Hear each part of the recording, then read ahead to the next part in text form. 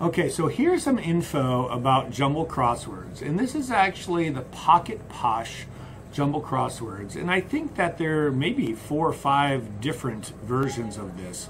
Uh, but here's the deal, okay?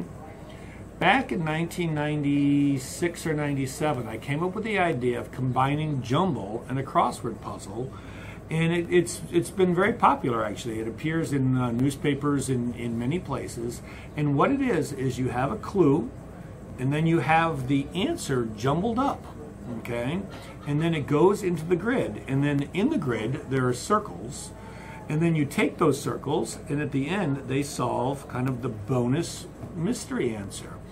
And it really is a very simple concept. It's crosswords and jumble put together to make something called, appropriately so, jumble crosswords. And this book is the Pocket Posh Jumble Crosswords because it's meant to fit in your pockets.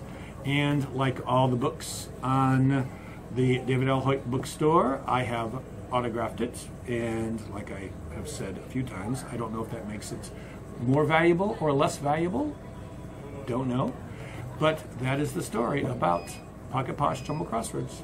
Thanks for playing and giving me such a fun job. I love it.